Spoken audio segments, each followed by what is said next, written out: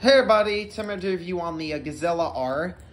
Um, this is a uh, Hot Wheels casting. Um, it has a base car on the bottom of, what is this? Looks like it's R, hold on.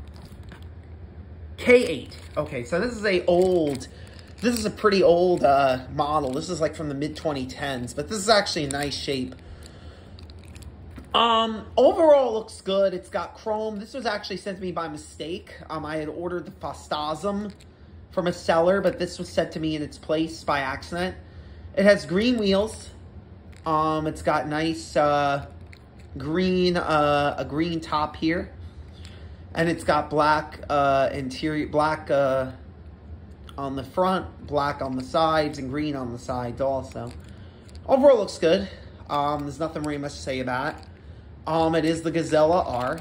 Um, now, this is, again, 2010s models. So this is not really something that uh, is rare. And that's going to be my review on the Gazella R. Thank you. Have a good day.